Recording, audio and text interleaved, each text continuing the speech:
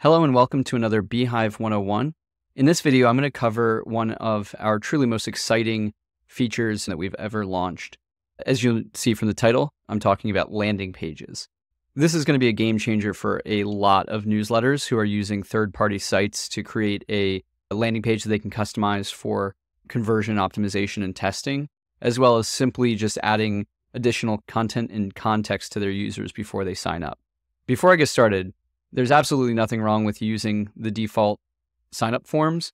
The default landing page that has the signup form within it is very straightforward and offers the user a binary choice. They hit the landing page, either they subscribe or they don't. That ends up actually having a very strong conversion rate because there's nothing to distract the user. There's nothing that takes them away from the question at hand, which is whether they're going to subscribe or not. However, we recognize that many users do want to provide more context, want to provide social proof, and want to give users a preview without necessarily forcing them into that binary decision. We respect that choice, which is why we've built out this very cool feature. To get started, I'm going to go to my settings tab. I'm going to go to website, and I'm going to click on this new pages button. Now, this is going to let me now customize my landing page. It's going to open up this experience that is very similar to the design lab. I've already gone through and made some updates here, but I'm going to walk through all of them and show you what the impact is. Under the main section, this is going to govern this top section that's above the fold. It's a full page takeover, and you can see that there's a couple elements here. By default, you will have no background image, but you can control the background color.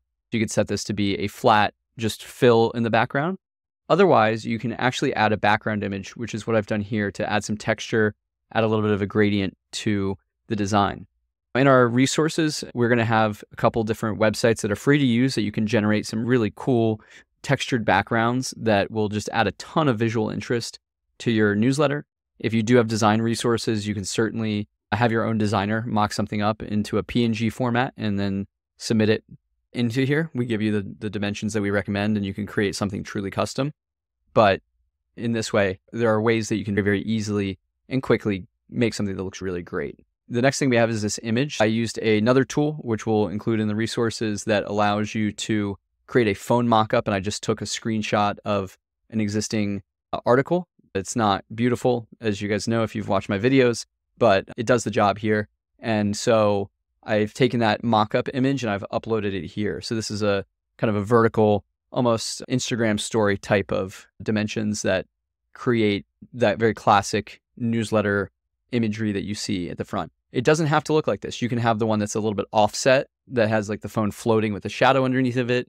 You could have something that's completely different than the phone preview. It's up to you. But when we created this image, that's what we had in mind. You're certainly free to do whatever you'd like. The overline is going to be some text that shows up over the name of the publication or the headline. So right here, we can say, I can make this the turn, and you'll see what it shows up. The best golf news delivered daily. I wish. All right, cool. So I've changed these two. The text right here, color is white, but the overline is up here.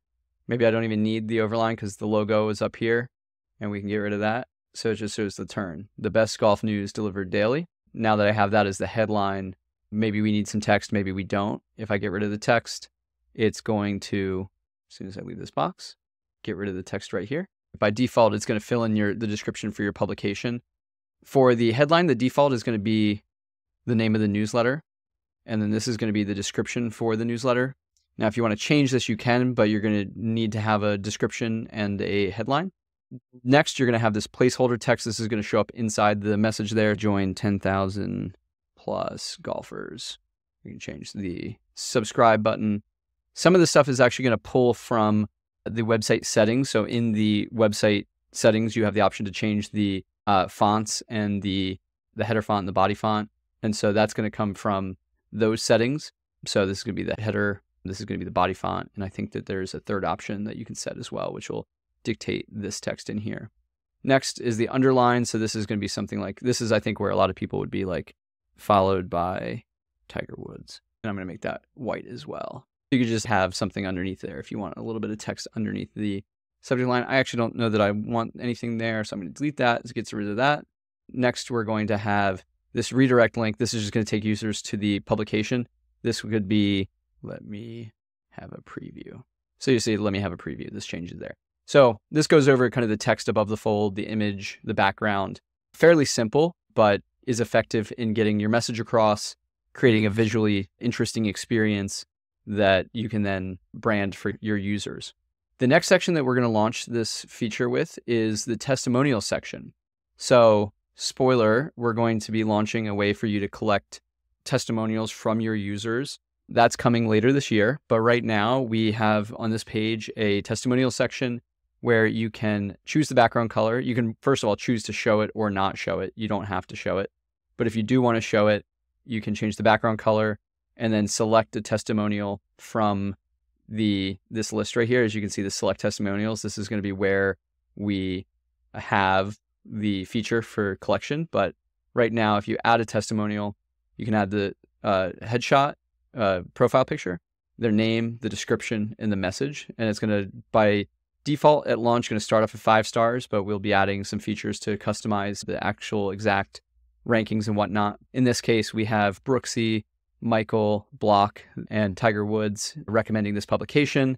If I go into these sections, you can see how I've set that up, and now they show up here. I can also then align these to be centered left or right, so I'll keep that centered now, and then can change this right here, recommended by the best. And then this is what people are saying. And so you can change that text as well, and you can change the colors of that. Lastly, the featured post section, again, you're going to have the option to show it or not. So if I don't want to show it, I can just have this be right here and then this be above the fold. Let's say I do want to show the preview section. So this is going to be from the archive.